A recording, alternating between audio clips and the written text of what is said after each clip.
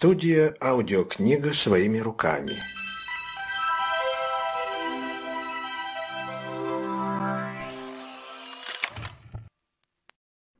Рэй Брэдбери. «Нескончаемый дождь». Читает Александр Водяной. Дождь продолжался. Жестокий, нескончаемый дождь Нудный, изнурительный дождь, ситничек, косохлёст, ливень, слепящий глаза, хлюпающий в сапогах, дождь, в котором тонули все другие дожди и воспоминания о дождях. Тонны, лавины дождя кромсали заросли и секли деревья, долбили почву и смывали кусты. Дождь морщинил руки людей, наподобие обезьяньих лап. Он сыпался твердыми стеклянными каплями, и он лил, лил, лил. «Сколько еще, лейтенант?» «Не знаю. Миля? Десять миль? Тысяча. Вы... Вы не знаете точно?» Как я могу знать точно?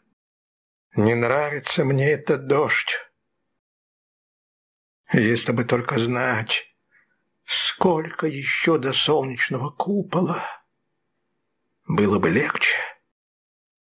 Еще час. Самое большее — два. Вы в самом деле так думаете, лейтенант? Конечно. Или лжете? Чтобы нас подбодрить. Хм, лгу, чтобы вас подбодрить. Хватит. Хватит. Поговорили. Двое сидели рядом. Позади них еще двое.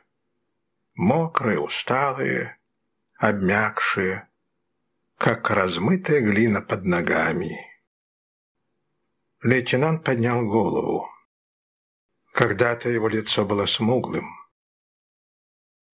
Теперь кожа выцвела от дождя, выцвели глаза, стали белыми, как его зубы и волосы. Он весь был белый, даже мундир побелел. Если не считать зеленоватого налета плесени. Лейтенант чувствовал, как по его щекам текут струи воды. Сколько миллионов лет прошло, как здесь, на Венере, прекратились дожди, прекратились дожди.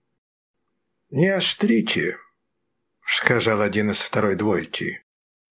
«На Венере всегда идет дождь. Всегда. Я жил здесь десять лет» и ни на минуту, ни на секунду не прекращался ливень.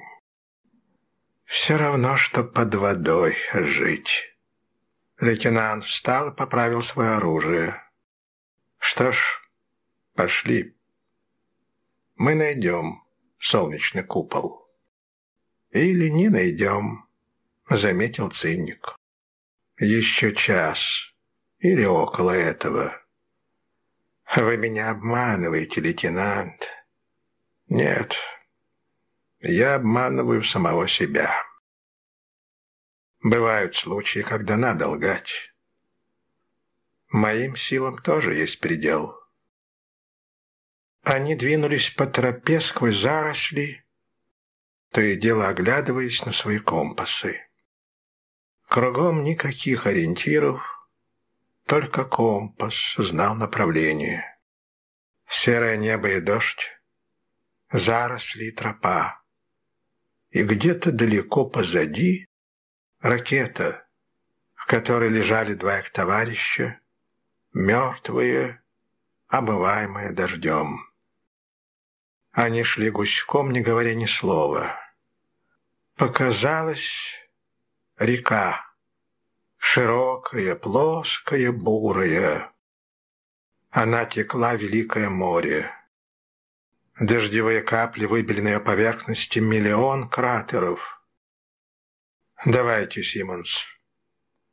Лейтенант кивнул, и Симмонс снял со спины небольшой сверток. Химическая реакция превратила сверток в лодку. Следуя указаниям лейтенанта, они срубили толстые сучья и быстро смастерили весла, после чего поплыли через поток, торопливо гребя под дождем. Лейтенант ощущал холодные струйки на лице, на шее, на руках. Холод просачивался в легкие. Дождь бил по ушам и глазам, по икрам. «Я не спал эту ночь», — сказал он. «А кто спал? Кто, когда?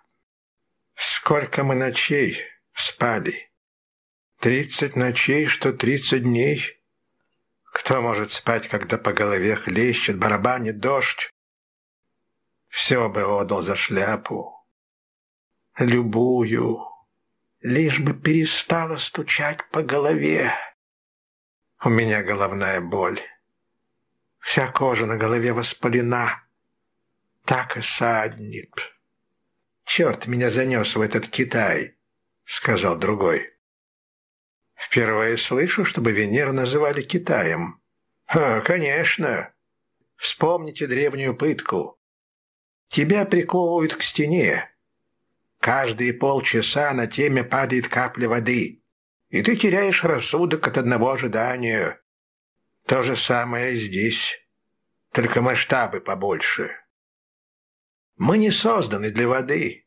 Мы не можем спать, не можем как следует дышать, мы на грани помешательства от того, что без конца ходим мокрые. Будь мы готовы к аварии, запаслись бы непромокаемой одеждой и шлемами. Главное, по голове все барабанит и барабанит. Тяжелый такой, словно картечь. Я не выдержу долго. Эх, где солнечный купол? Кто их придумал, тот знал свое дело.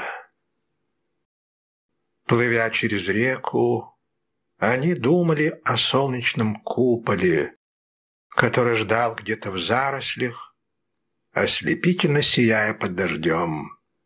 Желтое строение, круглое, светящееся, яркое, как солнце. 15 футов в высоту, 100 футов в поперечнике. Тепло, тихо, горячая пища и никакого дождя. А в центре солнечного купола, само собой, солнце. Небольшой, свободно парящий шар желтого пламени, под самым сводом. И ты можешь видеть его отовсюду, сидя с книгой или сигаретой, или с чашкой горячего шоколада, в котором плавают сливки. Оно ждет их. Золотистое солнце, на вид такое же, как и земное, ласковое, немеркнущее, и на то время, что ты праздно проводишь в солнечном куполе, можно забыть о дождливом мире Венеры. Лейтенант обернулся и посмотрел на своих товарищей, что, скрипя зубами, налегали на весла. Они были белые, как грибы, как он сам. Венера все обесцвечивает за несколько месяцев. Даже лес казался огромной декорацией из кошмара. Откуда ему быть зеленым без солнца? В вечном сумраке, под нескончаемым дождем. Белые-белые заросли, бледные, как плавленый сыр. Листья, стволы и бутоножки гигантских поганок. Впрочем, не так-то просто увидеть почву, когда под ногами потоки, ручьи, лужи. а впереди пруды, озера, реки и, наконец, море. Есть! Они выскочили на раскисший берег, шлепая по воде. Выпустили из лодки газ и сложили ее в коробку. Потом, стоя под дождем, попытались закурить.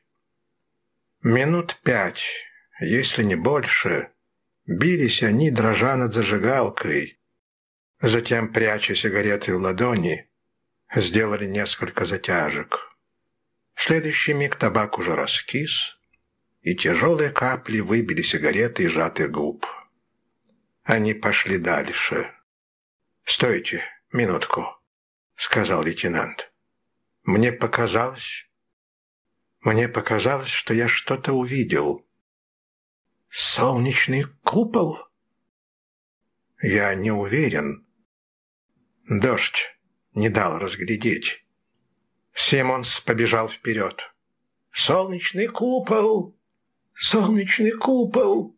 «Назад, Симонс!» «Солнечный купол!» Он исчез за дождевыми струями. Остальные ринулись вдогонку. Они догнали его на прогалине и стали как вкопанные, глядя на него и его находку. Ракета! Ракета! Она лежала там, где ее покинули. Выходит, они кружили и очутились в том самом месте, откуда начали долгий путь. Среди обломков лежали двое погибших. Изо рта у них росла зеленоватая плесень. На глазах космонавтов плесень расцвела. Но дождь убил лепестки, и плесень увяла. Как же это случилось? Видно, поблизости прошла электрическая буря. Она и испортила наши компасы. В этом все дело. Верно. Что же делать теперь? Идти. Снова идти. Черт, Ди, мы топтались на месте. Ладно, Симмонс, постарайся взять себя в руки. А, в руки, в руки. Этот дождь сведет меня с ума. У нас хватит продуктов на два дня, если быть экономными. Дождь плясал по их коже, по мокрой одежде. Струи дождя бежали с кончика носа, с ушей, пальцев, колен. Они были словно заброшенные в дебрях каменные бассейны. Из каждой поры сочилась вода. Вдруг издали донесся грозный рев. Из пелены дождя вынурнуло чудовище. Чудовище опиралось на тысячу голубых электрических ног. Оно приближалось быстро и неотвратимо. Каждый его шаг был как удар с плеча. Там, где ступали голубые ноги, деревья падали и сгорали.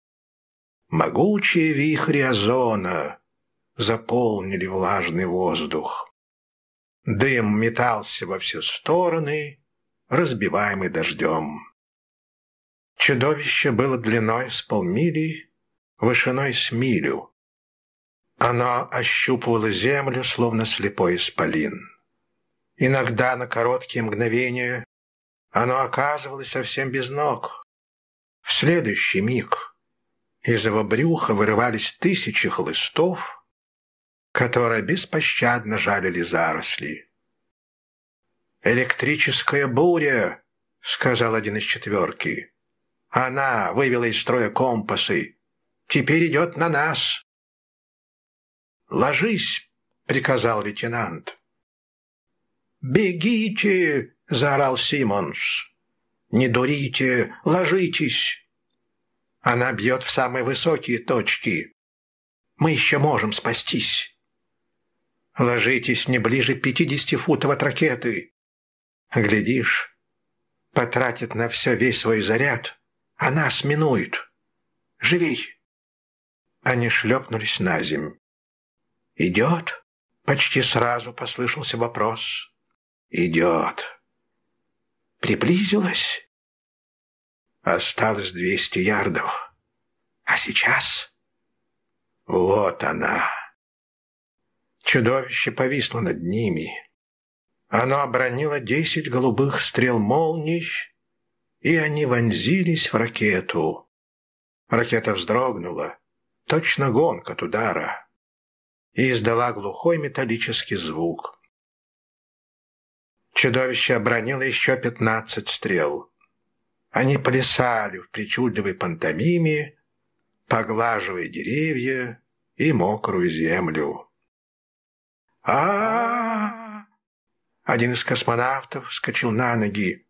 «Ложись, идиот!» — крикнул лейтенант. а, Еще десяток молний поразили ракету.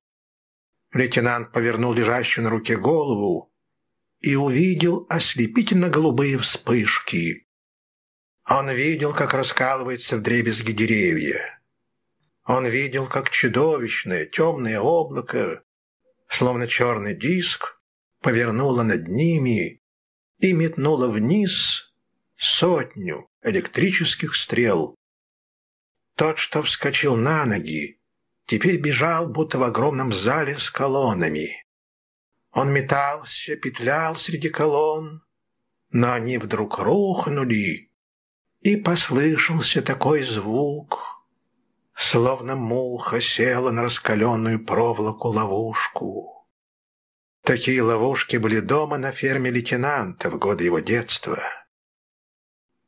Три товарища услышали запах человека, обращенного в залу.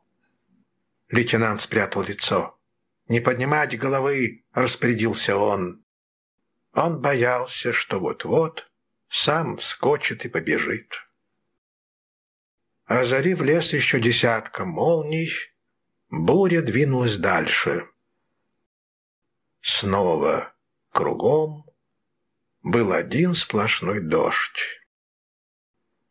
Он быстро унес запах горелого, и три товарища сели, ожидая, когда угомонится отчаянно колотящееся сердце. Потом они пошли к телу, надеясь, что еще можно вернуть его к жизни. Они не могли смириться с мыслью, что уже ничего нельзя сделать.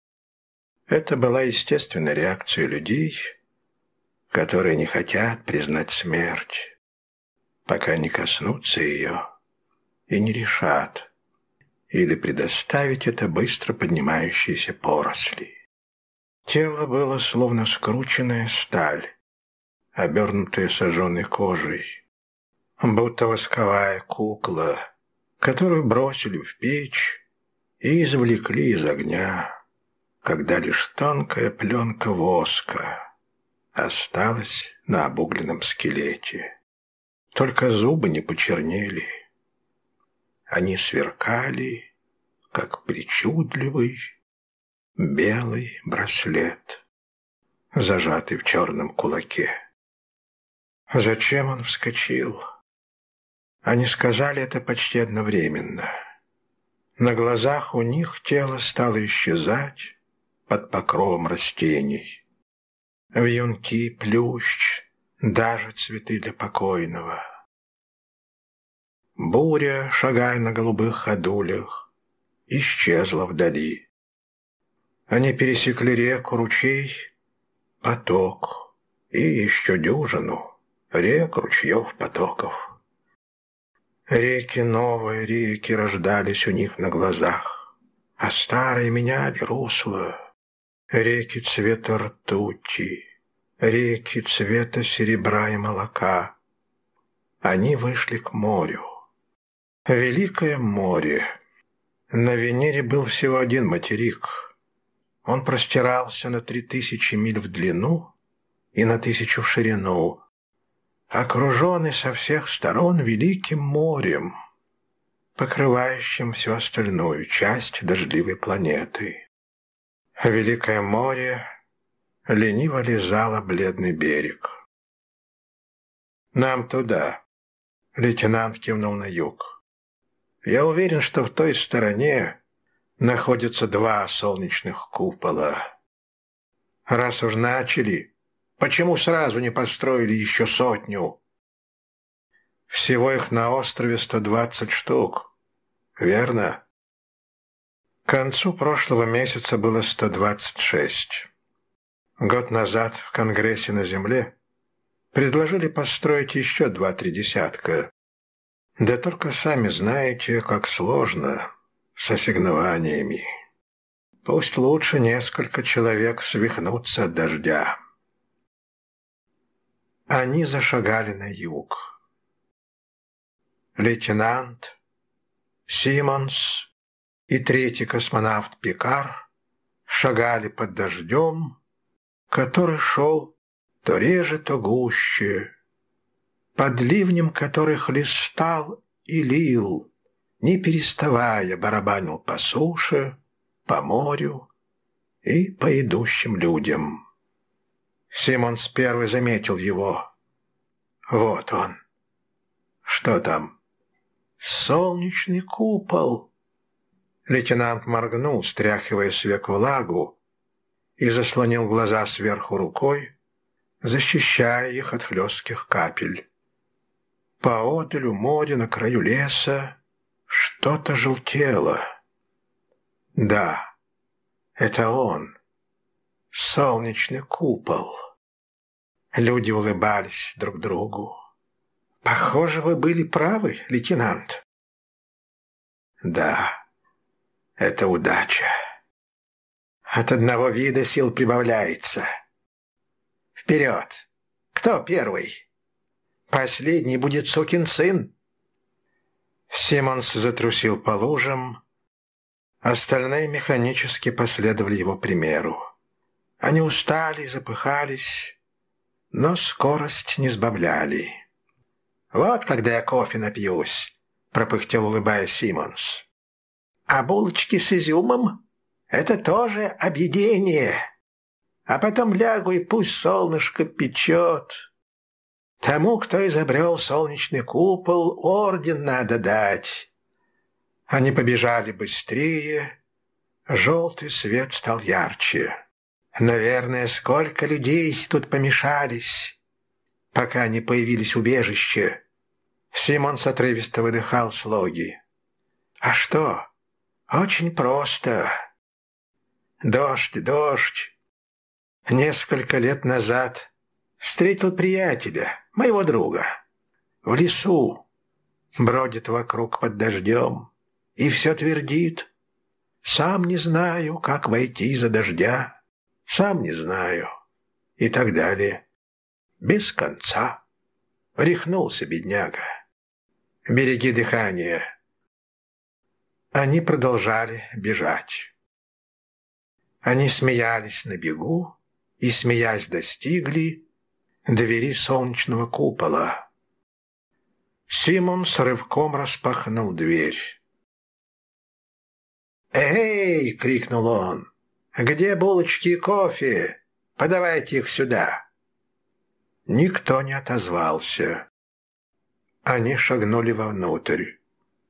В солнечном куполе было пусто и темно ни желтого искусственного солнца, парящего в прозрачной мгле в центре голубого свода, ни накрытого стола.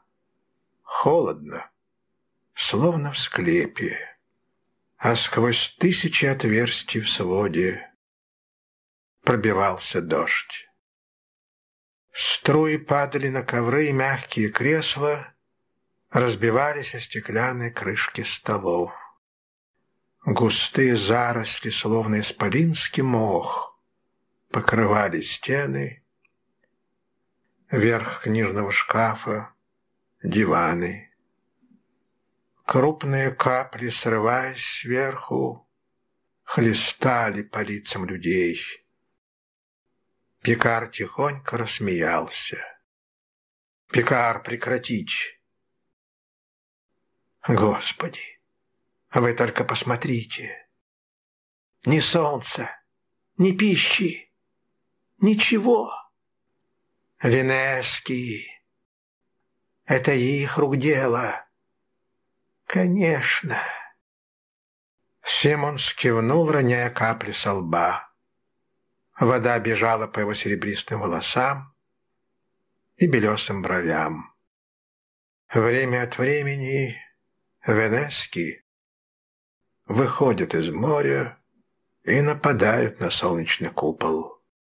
Они знают, что если уничтожат купола, то могут нас погубить. Но разве наша охрана не вооружена? Конечно. Симонс шагнул на относительно сухой клочок пола. Но с последнего нападения прошло пять лет.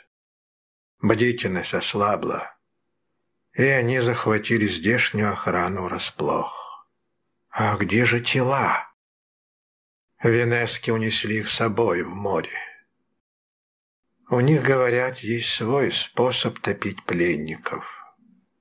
Медленный способ. Вся процедура длится около восьми часов. Просто очаровательно. Держу пари, что не осталось ни крошки еды. Усмехнулся Пикар. Лейтенант неодобрительно взглянул на него, потом сделал многозначительный жест Симонсу. Тот покачал головой и зашел в помещение, расположенное у стены. Там была кухня.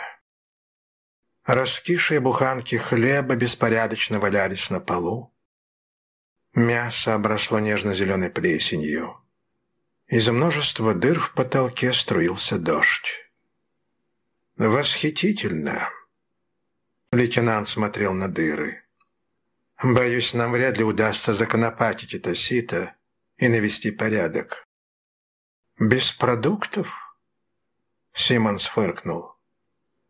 «К тому же солнечные генераторы разбиты в Лучшее, чем можно придумать, идти до следующего солнечного купола. Сколько до него отсюда?» «Недалеко». Помнится, как раз тут поставили два купола очень близко один от другого. Если обождать здесь, может подойти спасательный отряд. Наверное, они уже приходили и ушли. Месяцев через шесть пришлют ремонтную бригаду, когда поступят средства от Конгресса. Нет, уж лучше не ждать. Ладно съедим остатки нашего рациона и пойдем. Если бы только дождь перестал колотить меня по голове, заметил Пекар, хоть на несколько минут. Просто чтобы я вспомнил, что такое покой. Он сжал голову обеими руками. Помню в школе за мной сидел один изверг и щипал, щипал, щипал меня каждые пять минут. И так весь день. Это длилось неделями, месяцами. Мои руки были в синяках, кожа вздулась. Я думал, что сойду с ума от этого щипания. И он меня довел. Кончилось тем, что я действительно взбесился от боли, схватил металлический треугольник до черчения и чуть не убил этого ублюдка. Чуть не отсек ему башку чуть не выколол глаза. Меня еле от него оторвали. И все время кричал. «Чего он ко мне пристает? Господи!» Дрожащие руки все сильнее стискивали голову. Глаза были закрыты. «А что я могу сделать сейчас? Кого ударить? Кому сказать, чтобы перестал?» оставил меня в покое. Дождь, проклятый дождь, не дает передышки. Щиплет и щиплет. Только и слышно, только и видно, что дождь, дождь, дождь. К четырем часам мы будем у следующего солнечного купола. А, солнечного купола? Такого же, как этот? А если они все разгромлены? Что тогда? Если во всех куполах дыры и всюду хлещет дождь. Что ж, попытаем счастье. Мне надоело пытать счастье. Все, чего я хочу — крыша, крыша над головой. И хоть чуточку покоя. Хочу побыть один. Туда всего восемь часов хорошего хода. Не беспокойтесь. Я не отстану. Пикар рассмеялся, отводя взгляд. «Давайте поедим», — сказал Симмонс, пристально наблюдая за ним. Они снова пошли вдоль побережья на юг. На пятом часу пути им пришлось свернуть, так как дорогу преградила река, настолько широкая и бурная, что на лодке не одолеть. Они поднялись на десять километров вверх по реке и увидели, что она бьет из земли, словно кровь из смертельной раны. Обойдя исток, под непрекращающимся дождем, снова спустились к морю.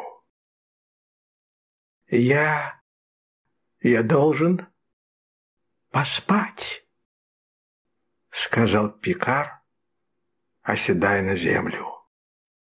«Четыре недели не спал, ни минуты не уснул. Спать, здесь, спать». Небо стало темнее, надвигалась ночь. А на Венере ночью царил такой мрак, что опасно двигаться. У Симонса и лейтенанта тоже подкашивались ноги. Лейтенант сказал, «Ладно, попробуем. Может быть, на этот раз получится. Хотя эта погода не очень-то благоприятствует сну». Они легли, положив руки под головы, так, чтобы вода не захлестывала рот и закрытые глаза. Лейтенанта трясло. Он не мог уснуть. Что-то ползло по нему, что-то словно обтягивало его, живой, копошащейся пленкой. Капли, падая, соединялись с другими каплями, и получались струйки которые просачивались сквозь одежду и щекотали кожу. Одновременно на ткань садились, тут же пуская корни, маленькие растения. А вот уже и плющ обвивает все тело плотным ковром. Он чувствовал, как крохотные цветы образуют бутоны раскрываются и роняют лепестки. А дождь все барабанил по голове.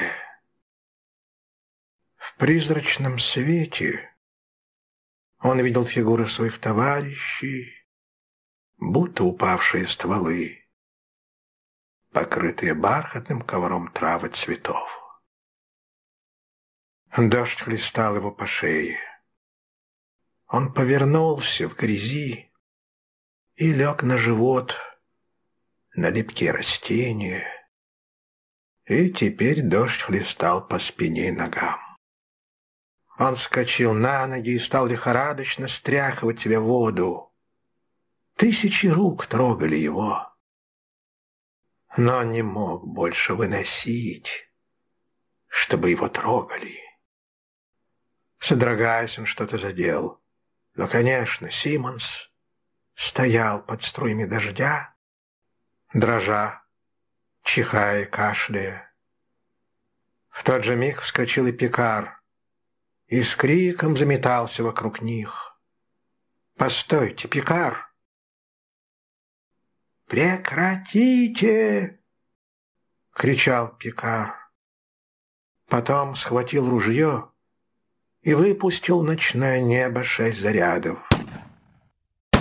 Каждая вспышка освещала полчища дождевых капель выстрелами. Пятнадцать миллиардов капель, пятнадцать миллиардов слез, пятнадцать миллиардов бусинок или драгоценных камней на фоне белого бархата витрины.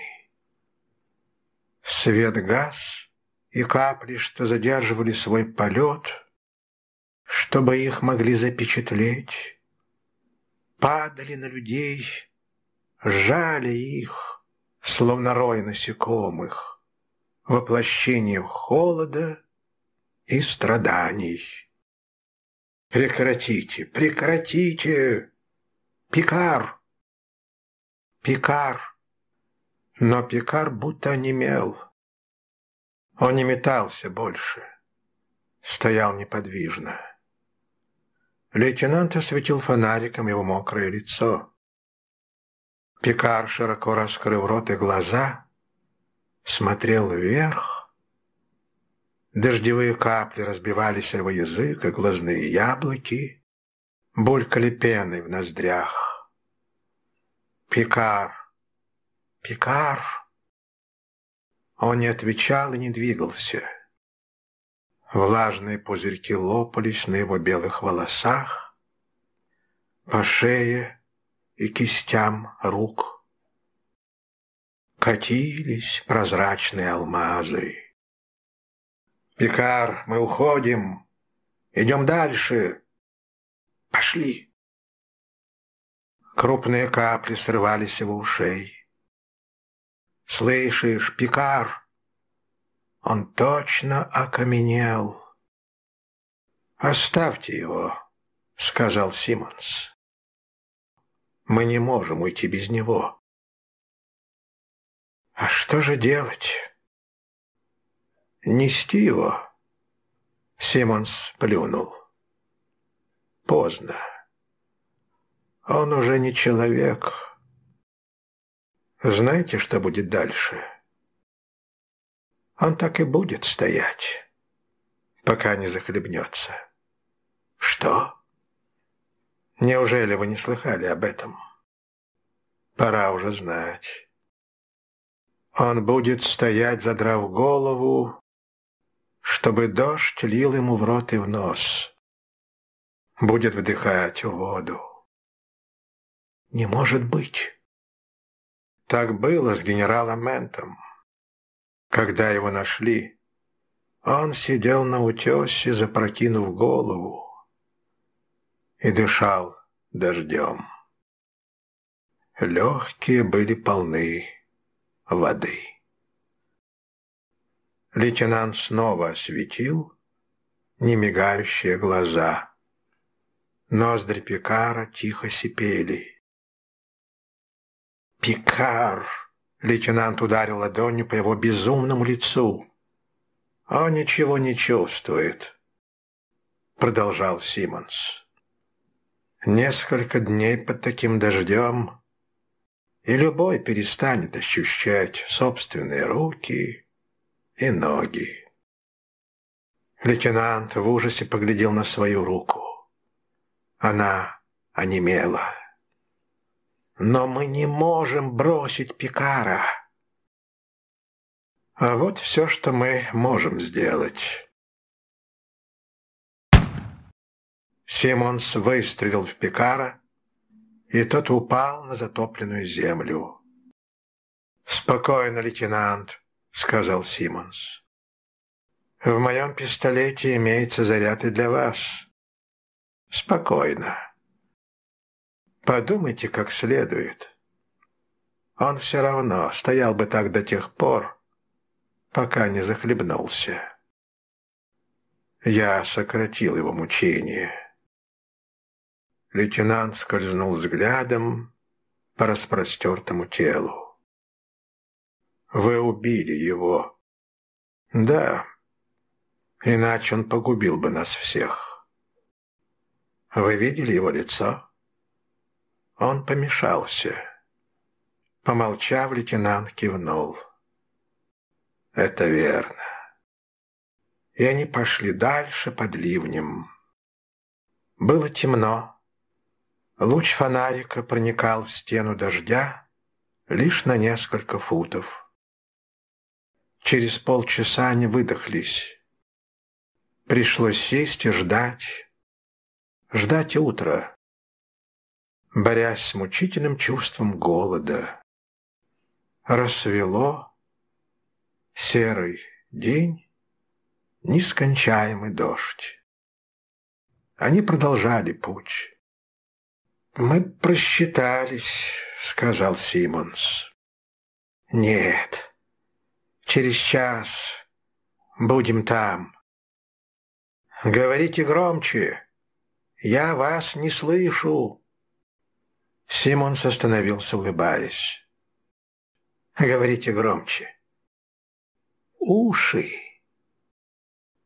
Он коснулся их руками. Они отказали. От этого бесконечного дождя я онемел весь до костей.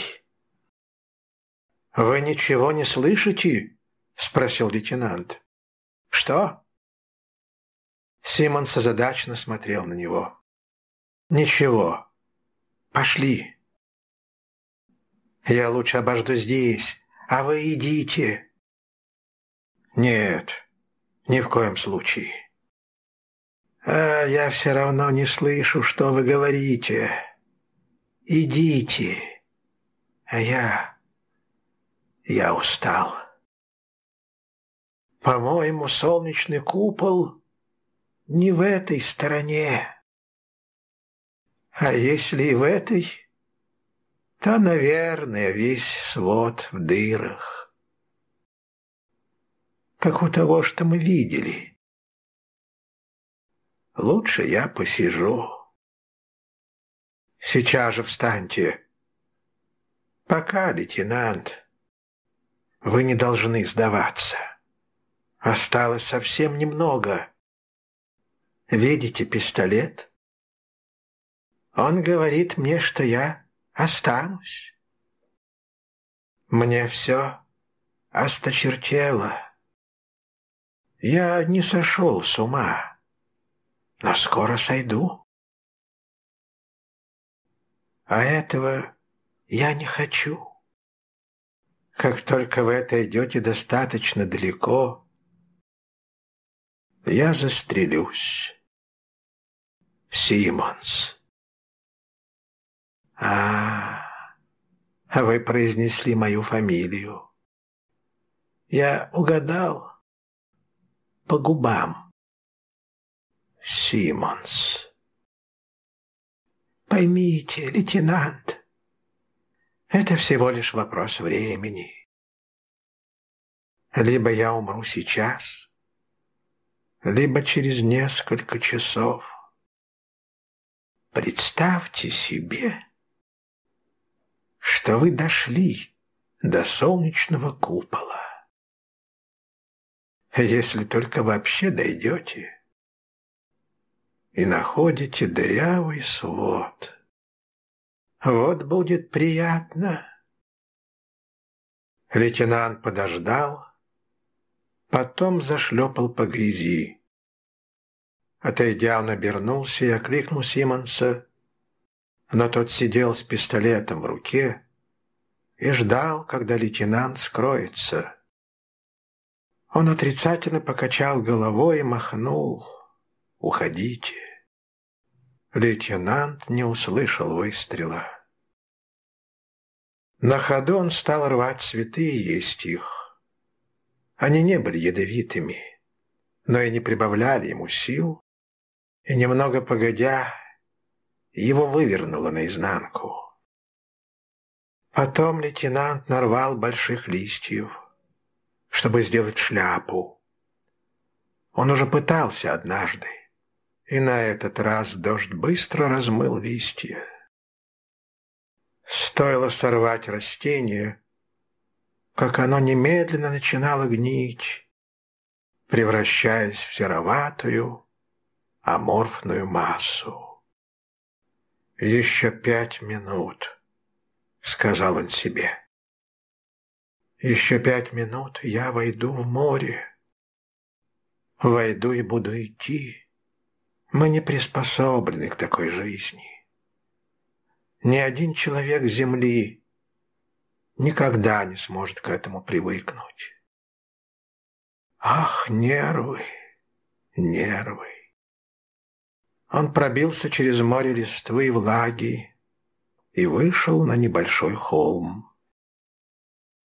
Впереди, сквозь холодную мокрую завесу, угадывалось желтое сияние. Солнечный купол. Круглое желтое строение за деревьями поодаль. Он остановился и, качаясь, смотрел на него. В следующее мгновение лейтенант побежал, но тут же замедлил шаг. Он боялся. Он не звал на помощь.